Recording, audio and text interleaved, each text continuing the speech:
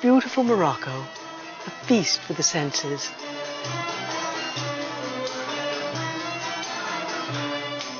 This program has been made possible by the generosity of Coral Petroleum Holdings AB, the U.S. Morocco Council for Trade and Investment,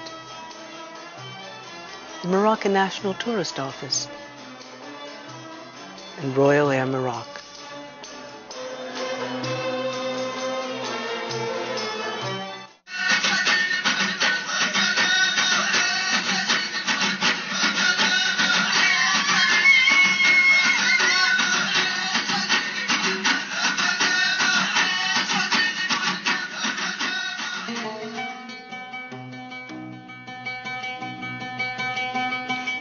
Us now and explore Morocco.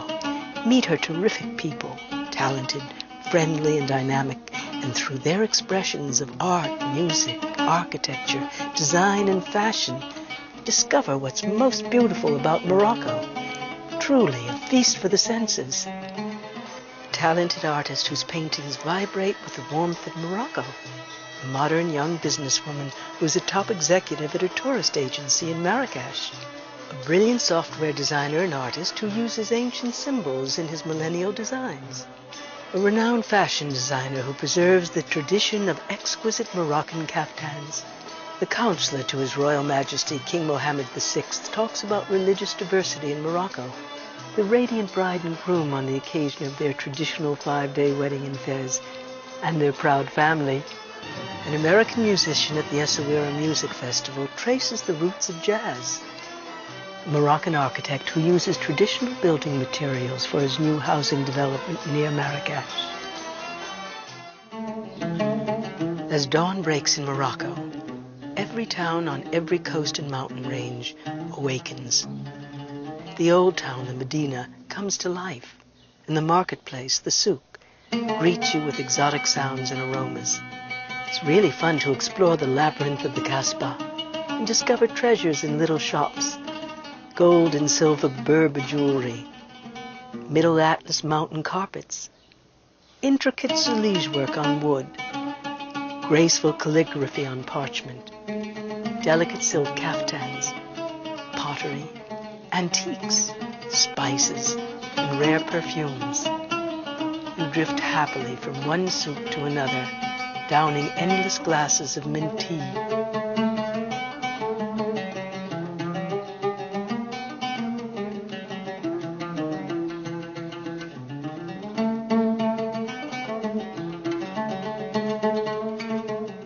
Waisel El Garba is part of the new generation of young Moroccans. She's the manager of a tourist agency in Marrakesh. All the country is working now to let young girls and ladies and women go out to study, to learn, to work, and to be working women, modern women. Crossing Morocco from north to south, from east to west, it really wakes up all your senses people, places, weather, history, culture, traditions, food, gardens. Everything is beautiful in Morocco. When you, you can give two kisses, which is a tradition in our country, to a person, even if you say it 10 times a day, as soon as you see it, just say, how are you doing? This is the best way to translate how warm can the Moroccan be.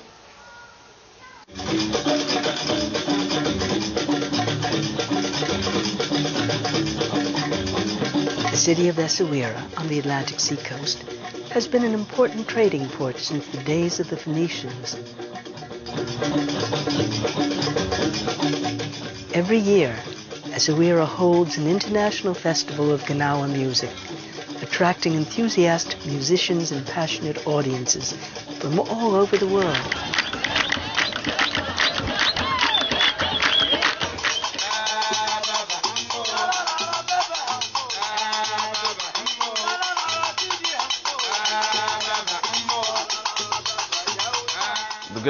Originally were men from West Africa. They were brought to Morocco. So you had men that were brought from West Africa to America. And that's how, you know, blues uh, field hollers and all those things, the beginning of folkloric music by blacks, it's the same music. The language is different, but the music itself and the spirit behind the music is the same.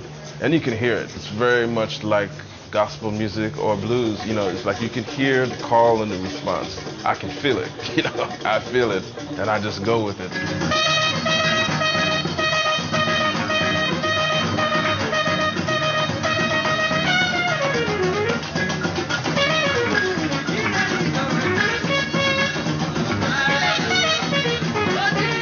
I am transported, you know, to another place. And next thing I know, I'm just gone. You know, so I'm playing and trying to keep up with them, and you get elevated to another experience.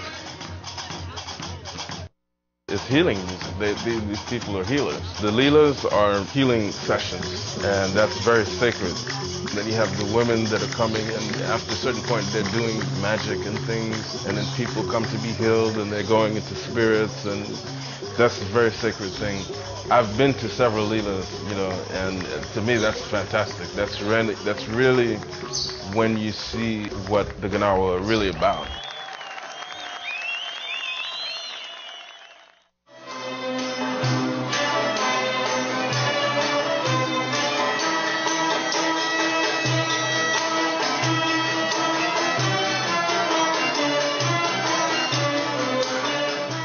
Mohamed Melehi is one of the founding artists of modern art in Morocco. He was born on the Atlantic seacoast town of Asila. Melehi's exquisite paintings are exhibited in major galleries all over the world. We are welcomed by Mohamed Melehi and his family. Let me speak about Marrakesh. Always we have eastern wind blowing. So all the humidity from the sea is away then the colors here have another density because of the wind, because of the atmosphere. Now, if you go more to the desert, colors have another density. So, my, in my opinion, the wind plays a big role in color language. My painting are based on bright colors. Color for me is like an alphabet which you can use in painting to combine ideas and I happen to draw the same painting and change colors on the same composition and then the, the communication is completely different. You know, that means colors can talk to you. Its population express themselves through designs. It's a very manual culture, although it's at the same time very spiritual, very attached to this uh, religion. Islam is a religion of tolerance, pragmatic. You see, it's the third biblical religion. To me, Sufia or Sufism is a, a, a, a technique to get to the final illumination. You you reach it through action, through work, because the quest for God is not a prescription. So, so you have to, to clear the path so you can get there. And I think the Sufi has have done this work insisting strongly on the beauty of God. Beauty, beauty, beauty.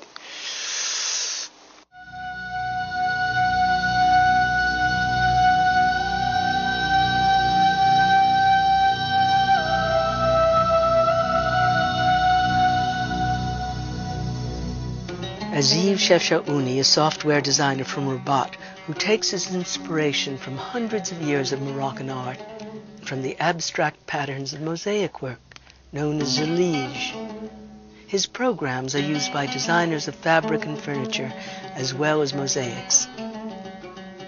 Shefshaouni integrates spirituality into his work. My art is, first of all, trying to bring the roots of the past, the wisdom of 13 or 14 centuries of Islamic art, for which Morocco has been an important pioneer. It's the synergy between art, science, and spirituality. Well, I had made the design. It's a, computer generated image based on the sunflower fractal system. So if you could see, it's a design made by nature. It just happened that I understood uh, the algorithm of it and put it through a computer to have uh, artifact out of it.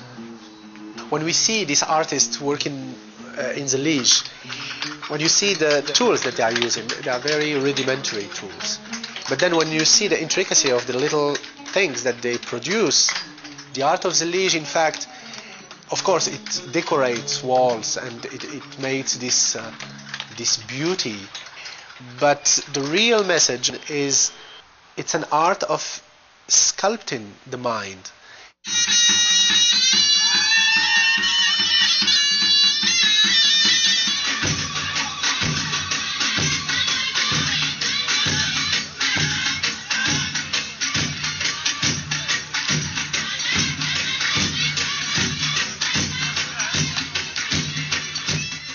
Tangier, exotic, romantic, cosmopolitan.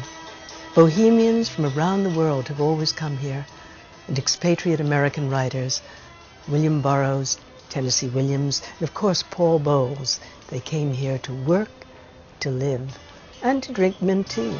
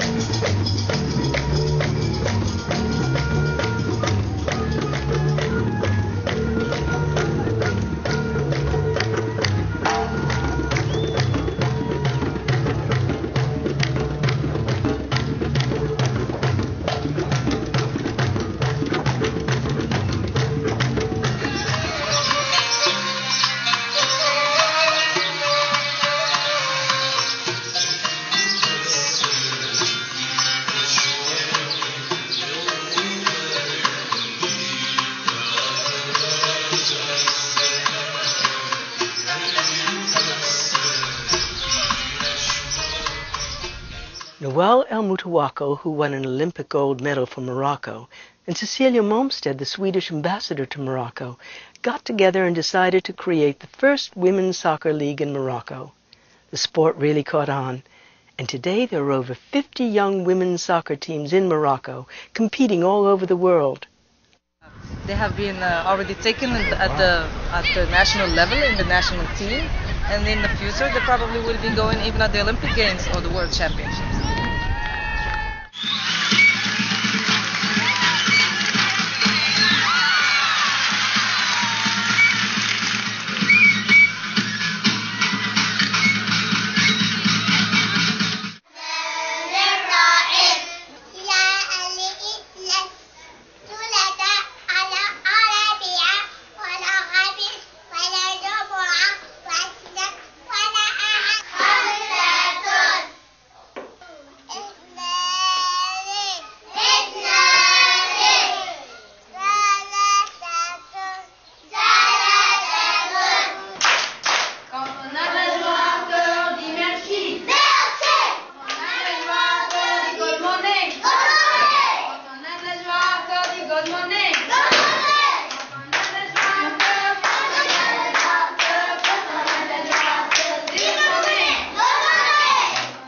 Casablanca, Leila Benhima and a group of concerned women volunteer for L'Heure Joyeuse, the Joyous Hour Foundation, which offers job training for young adults and preschool education for children.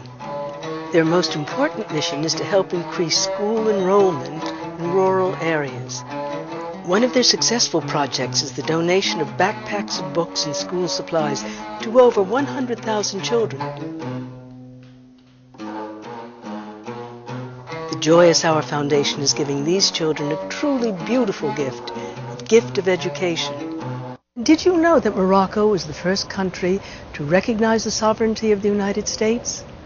This is a copy of the letter that George Washington sent to His Majesty Sultan Mohammed III. This treaty of peace and friendship signed by Morocco and the United States in 1787 and again in 1836 is still in force, making it the longest unbroken treaty in the diplomatic history of the United States.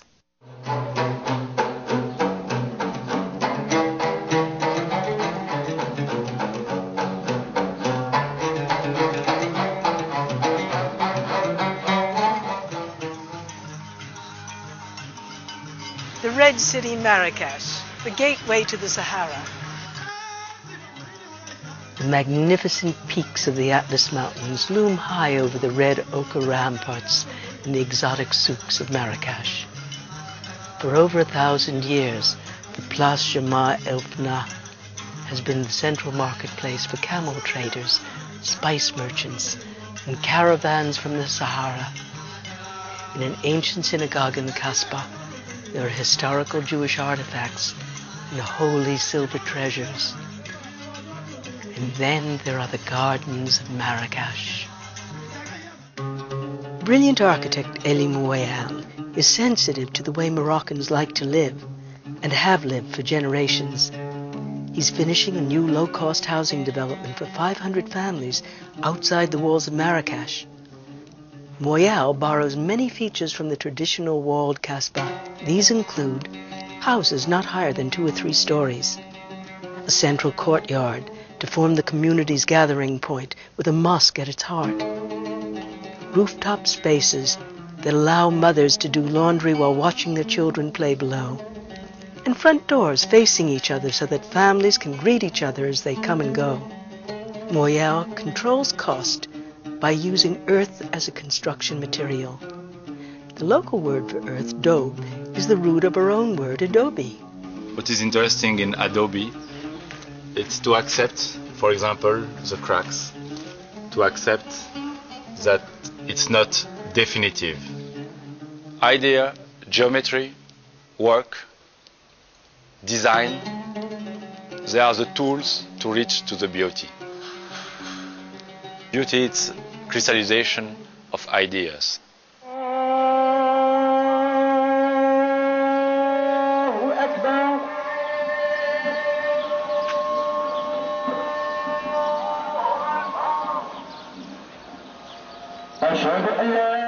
The imperial city of Fez is unique, one of the great ancient cities of the Islamic world.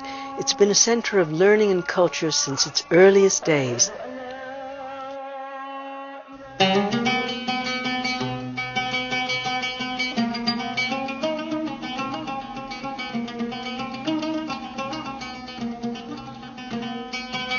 Morocco is proud of its history of religious tolerance and diversity.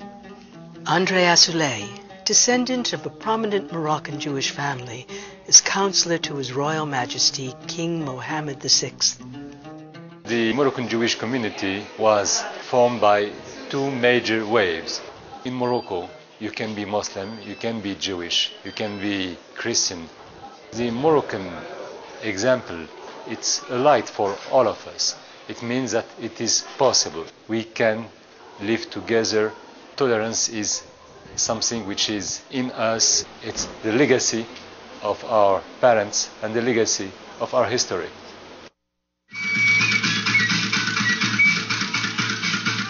Casablanca, an Atlantic seacoast city with fabulous boulevards and hundreds of 1920 Art Deco buildings, bustles with the energy of a modern metropolis.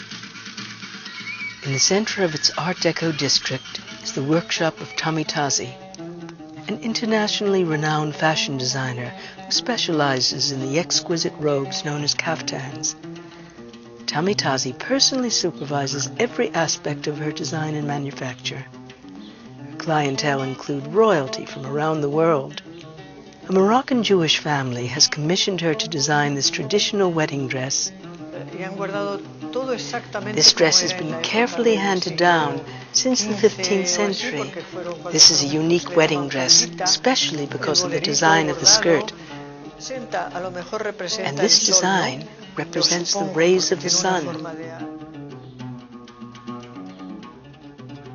The embroidery of pure gold thread on silk is an ancient craft. It's traditionally practiced by men. The techniques are handed down from father to son. And finally, this unique kaftan shines miraculously in the late afternoon Moroccan sun.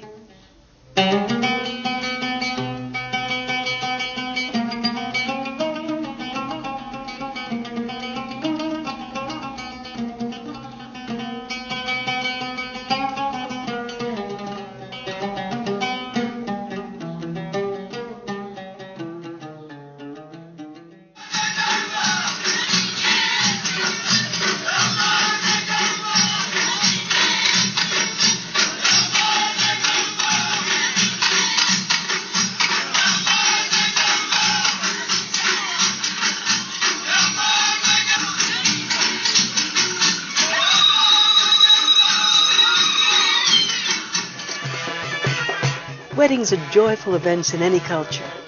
Weddings bring families together.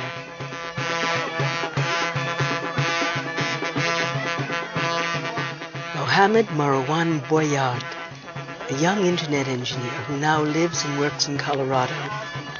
His traditional Moroccan wedding is being celebrated for five days and nights.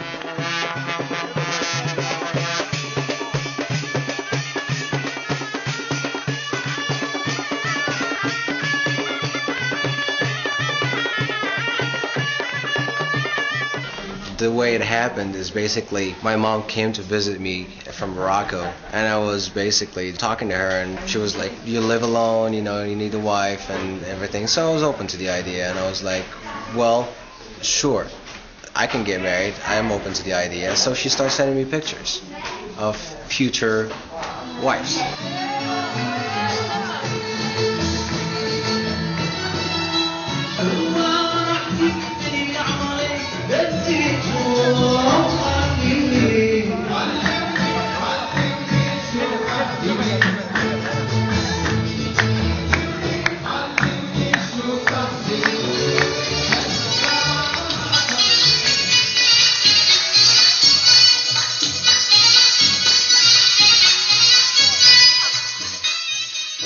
Sparked my mind is my my wife now. I've spoke to her like an instant, just like a link between us, and that's how we got our love connection going. I guess through emails and internet and phone, through technology. So I would probably say my marriage is more of a combination of a traditional Moroccan way, by my family going and browsing for future brides.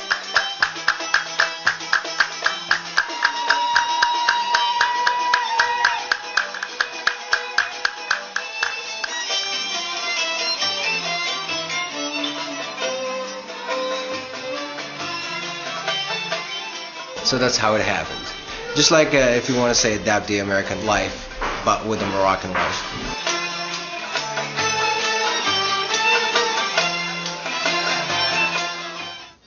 Out of the mists of time, Morocco emerges, mysterious, spectacular, and spellbinding.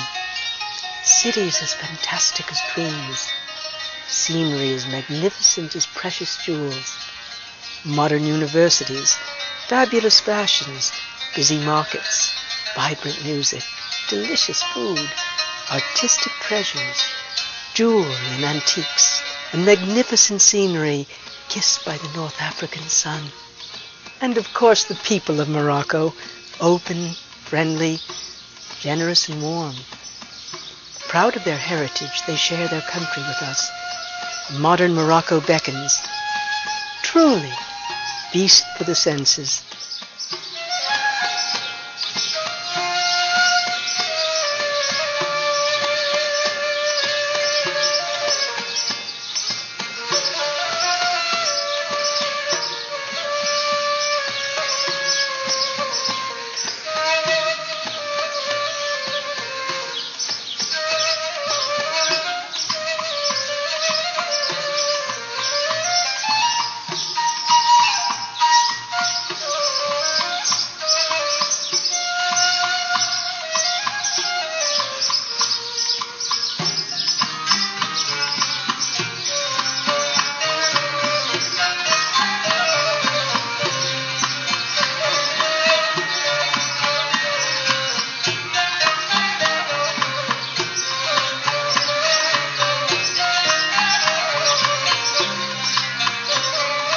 This program has been made possible by the generosity of Coral Petroleum Holdings AB, the U.S. Morocco Council for Trade and Investment, the Moroccan National Tourist Office, and Royal Air Maroc. Produced in cooperation with Prairie Public Television